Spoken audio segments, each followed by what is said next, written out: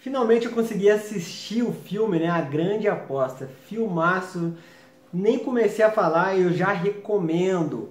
O filme me surpreendeu muito, eu achei que ele era um filme, né? mais um filme clichê que iria culpar o maldito capitalismo, né? culpar as empresas do que estava acontecendo, mas eu vi que não, é um filme muito mais inteligente do que isso. E exatamente por isso me surpreendeu. Meu nome é Roberto Pantoja e você está assistindo a Sétima Arte. Vamos falar sobre a grande aposta, uma avaliação anarquista. A gente tem aí os principais atores do filme. Aqui nessa imagem não mostra todos, mas aí você tem o Ryan Gosling, você tem Steve Carell, que são muito importantes no filme. Mas o filme começa né, com o nosso sensacional Christian Bale, né, que é um dos melhores atores dessa geração, junto com o Ryan Gosling, né, tem os dois no filme. E o interessante, né, o que, que é o mais interessante no filme? É você mostrar que todos os personagens, né, que você tem dividido em três grupos, o grupo do Steve Carell, né, o grupo do Christian Bale e o grupo do Brad Pitt. Esses três grupos são formados por pessoas totalmente fora da caixa. Né? Pessoas que enxergam a realidade de uma maneira muito diferente da população.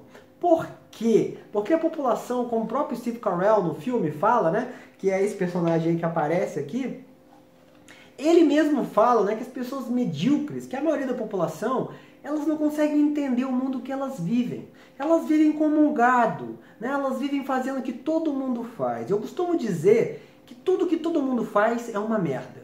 Sempre que eu vou fazer alguma coisa e vejo que está todo mundo fazendo a mesma coisa, eu paro de fazer. Automaticamente eu já, já tenho certeza que é o caminho errado. Né? Qualquer lugar que eu vou, né? por exemplo, está todo mundo comprando iPhone, eu não vou comprar iPhone. Está todo mundo comprando Galaxy S5, eu não vou comprar esse aparelho. Exatamente por isso, porque está todo mundo comprando. Então eu já sei que não presta. O que todo mundo faz é uma merda. E ele mostra isso no filme muito bem. A grande massa, ela é estúpida. E ela fica o dia inteiro vendo televisão, ela acredita no jornal. E o filme mostra muito isso, né? Como tudo é falso, como a informação é falsa. O Brasil é um grande exemplo disso. Né? É uma perda de tempo você assistir Jornal Nacional, é, G1, qualquer, qualquer reportagem que você assiste hoje, né, qualquer jornal, qualquer revista, qualquer site né, da grande mídia, só fala mentira. Nada do que eles falam é verdade. Né? O nosso Banco Central só fala mentira. A nossa presidente só fala mentira. O nosso Congresso só fala mentira. Você literalmente, você não pode né, dar valor para nenhuma dessas informações porque elas são todas falsas. E elas existem para enganar a grande massa, que a única coisa que a grande massa se preocupa, na verdade, é com a novela, né, em pagar suas contas e ponto final. As pessoas não têm tempo, elas precisam trabalhar muito para sustentar o governo. Então, né, os escravos modernos têm que trabalhar muito, não dá tempo de pensar, né? não dá tempo de sair dessa grande massa, não dá tempo de questionar o mundo. Então a pessoa vai lá, nasce, né? envelhece e morre. Né? Isso é o destino das pessoas. Em vários momentos do filme ele mostra isso. No começo, Steve Carell ele anda na rua e ele vê, gente, a gente está entrando num colapso, o mundo está né, entrando em colapso e as pessoas estão aqui tipo como se não estivessem percebendo nada. E é exatamente assim o mundo, né? A sociedade é assim, é um bando de gente idiota que não percebe o que as coisas estão acontecendo, não entendem como é que o mundo funciona e não tem interesse de entender. Né? Elas não leem, não vão atrás e não vão dia nenhum. Isso não vai acontecer. Então você vê que os, né, os três personagens do filme, né, eles são meio malucos, né? né? Os principais personagens são todos loucos, né? O Christian Bale, ele é louco no filme, né, o personagem dele, que ele é um médico, né, que, tá, que ele não tem um olho e ele né, trabalha com o mercado de ações, né, mercado de fundos de investimento. E ele é completamente maluco. Né? E aí você tem o Steve Carell, que é paranoico, que o irmão dele se matou, que é outro maluco paranoico, né? que vê que o mundo é completamente maluco. Né? Aí você tem um outro personagem maluco do filme, que é o Brad Pitt, né? que são dessas três núcleos do filme, que também é um maluco que mora com a mulher dele numa fazenda lá, que planta, né, que tem sementes guardadas para o fim do mundo. E o quarto personagem, que faz parte de três núcleos, né, os principais, que é o Ryan Gosling, que também é um outro maluco que trabalha no banco. Todos eles são malucos e todos eles acham as pessoas medíocres e pessoas idiotas. Né? Então eu sempre falo, eu dou valor para o mendigo, eu dou valor para o milionário, eu dou valor para o maluco, mas eu nunca dou valor para uma pessoa medíocre. Nunca dou valor. Sempre que aparece um cara louco, começa a falar um monte de coisa para mim, eu escuto ele com atenção. Sempre que um mendigo me para na rua e fala, eu escuto ele com atenção. Agora, quando alguém medíocre fala, eu tipo, esse cara vai falar mais do mesmo. Ele fala tudo que todo mundo fala e exatamente por isso é uma merda de informação. E o filme mostra isso o tempo todo, que as pessoas estão, né, elas ficam o tempo todo escutando novela, vendo novela, escutando notícia, é tudo mentira, elas vivem nessa mentira, elas vivem numa ilusão e não conseguem sair dessa mentira e elas se prejudicam, né, dessa mentira elas são vítimas do próprio destino. Elas são vítimas da sociedade o tempo todo. Tem um momento do filme que o cara vai numa casa abandonada e fala: Olha, o cara, o dono dessa casa aqui, na casa abandonada não, desculpa, um cara que não paga, né? É, ele não paga o subprime dele, não subprime, ele não paga a parcela do endividamento que ele teve para comprar a casa. E ele não paga. E chega um cara, né, de origem humilde, que mora nessa casa de aluguel e paga o aluguel e fala: Nossa, eu pago aluguel todo mês e esse cara não está pagando né, a parcela dele, significa que eu vou me prejudicar? Ele mostra isso muito, né? Ele mostra isso, ele mostra na cara. As pessoas são vítimas da sociedade porque elas não compreendem o mundo que elas vivem. Então o cara no final do filme ele vai lá e fica pobre, ponto final. Né? Você chega no Brasil agora, uma crise enorme que já está aí, ó. Desde 2003 que essa crise, todo mundo falou isso, todos os malucos, os loucos do Brasil avisam sobre essa crise tem mais de 10 anos.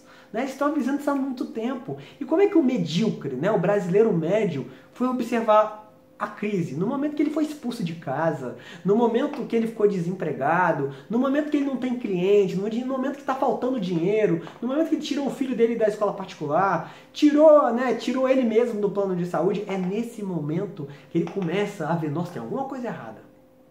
Só que ele não sabe nem o que está errado, nem porquê, e nem como corrigir. Ele simplesmente igual um idiota, né? Tipo assim, ele fica revoltado. E não sabe nem por que, que ele está revoltado. A revolta dele é que ele não tem dinheiro no bolso. Entendeu? Essa é a revolta dele. E se o mundo te deixar idiota, se você viver num país, né, que é tudo legal, que você tem um retorno do, da, do governo, o governo te entrega coisas boas, um bom transporte, boa segurança, você vive como um retardado a vida inteira. Você vai ficar durante 100 anos morando naquele país sem nunca entender, questionar o que acontece. Pelo simples fato que lá estão né, te fornecendo, você é um escravo né, que tem uma vida boa. E você não vai questionar nada. E o filme mostra isso muito bem. Ele mostra lá que no momento que começou a crise, a crise não aparecia para ninguém, porque o jornal é vendido, o governo é assim com as grandes corporações por causa do capitalismo estatal, né? Então as grandes empresas são braços do governo, né? O governo criou isso tudo, ele mostra isso, que na verdade o Banco Central Americano, ele é assim, né, com a corrupção, ele é assim com os bancos e é assim com a mídia. Então simplesmente é tudo inventado, né? É tudo mentira. Então o cara tá vendo, pô, mas tá tudo errado, tá tudo caindo, né? Tá tudo tá desabando os Estados Unidos e ninguém sabe disso. Como assim? E outra coisa interessante que eles mostram é que a gente vive nessa ilusão, na ilusão. E aqueles caras poderosos, eles sabem exatamente o que está acontecendo, eles sabem o que está acontecendo, e eles usam dessa ilusão para ganhar muito dinheiro e para passar perna em todo mundo. Né? E aí o que acontece? A população vive nessa ilusão. E esses caras loucos né, da sociedade, que tem vários loucos na sociedade, que são as pessoas mais inteligentes da sociedade e são aquelas que realmente mudam o mundo, essas pessoas estão ligadas no que está acontecendo. Pelo simples fato que elas estão observando o que está acontecendo. Elas estão vendo as coisas acontecer. Né? As trocas comerciais elas são naturais, elas acontecem naturalmente. Então você não precisa, né, para você entender o capitalismo, as trocas comerciais, entender o mundo que você vive, basta você observar. Né? E eles foram lá observar, eles foram na casa de uma pessoa, de uma, de outra, de outra, de outra, e foram ver que existia uma bolha imobiliária que está ali para todo mundo ver, mas ninguém enxerga. É todo mundo cego, é todo mundo né, iludido e acredita só nas informações erradas. Você pode ler 200 livros por ano e você ser um completo idiota, porque você está lendo só a informação errada. Então é isso que a gente vê na nossa sociedade: pessoas muito bem informadas que não sabem de nada. Porque elas não procuram a informação correta. E esse filme é exatamente sobre isso. São quatro autistas, né? Literalmente são autistas, pessoas que não sabem se relacionar com a sociedade, né? Que tem um QE baixo, mas tem um QI muito alto, porque compreendem o mundo de uma maneira brilhante e de uma maneira real, de uma maneira matemática, de uma maneira física. Eles entendem a humanidade de verdade não com ilusão, não querem enganar ninguém, né? É claro que no filme não tem só autista, né? Tem alguns com que é muito alto também, com o próprio Steve Carell, né? Que ele viu que aquilo ali não era só um negócio, né? Que ele também iria prejudicar milhões de pessoas e milhões de famílias. E por isso que ele demorou, né, a vender a parte dele. E, e não lucrou tanto assim, porque ele achou que era errado o que ele estava fazendo. Né? Ele questionou isso. Mas a maioria viu falou assim, gente, a, a maioria percebeu assim, o povo é idiota. O povo é idiota e eu não vou mudar isso. Né? É melhor ficar rico aqui, foda-se o povo, porque o povo é burro. E o povo sempre vai cair nesse golpe. Né? Tá caindo no golpe do Brasil agora, nesse exato momento. E tá caindo em vários lugares do mundo e vão cair sempre. Durante mil anos eles vão cair nesse golpe. Né? Sempre que você questiona o Estado, que você questiona a sociedade, as pessoas acham que você é louco, né? que você é maluco, que você é autista. Né? E no fundo, são essas pessoas né, medíocres que são totalmente retardadas e não conseguem compreender isso, não conseguem enxergar o mundo que elas vivem. O filme é exatamente sobre isso, e o pior de tudo não é isso. O pior é que a maioria das pessoas vão assistir o filme e vão falar: caramba, a atuação é muito legal, Brad Pitt, Christian Bale, e ninguém vai entender a porra do filme. Né? Ninguém vai entender o que eles estão querendo dizer.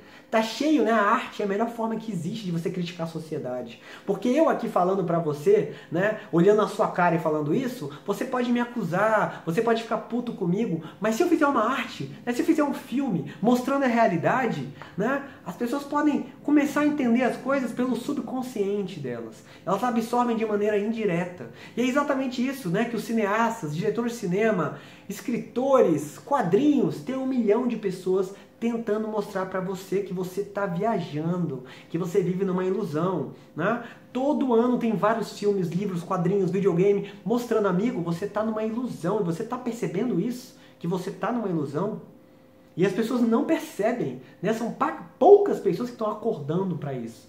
São raras pessoas mas elas não acordam. Então elas assistem um filme desse e não conseguem compreender e vão ter a mesma ideia idiota que existe desde 2008 e vão falar: ah, a culpa é do capitalismo, a culpa é do não sei o que lá, a culpa é dos empresários, a culpa é do mercado e não vão entender a mensagem do filme que eu posso dizer que você tem que assistir esse filme. É um filme imperdível e um milhão de vezes melhor do que eu imaginava. Espero que vocês tenham gostado da avaliação. Né? Não vamos esquecer de curtir, compartilhar, deixar um comentário. Né? O que, que você acha disso tudo, se você discorda. Né? Vou querer muito ver o seu comentário. Não vamos esquecer de entrar né, no meu canal Roberto Pantoja no YouTube para você assinar e favoritar. E claro, não vamos esquecer também de entrar no sucesso.com com três S para empreendedor que acordou, né? Para o empreendedor que quer acordar, né? Que quer oferecer algo diferente, entender o mercado, entender a sociedade e oferecer o melhor para o consumidor. É isso, até mais.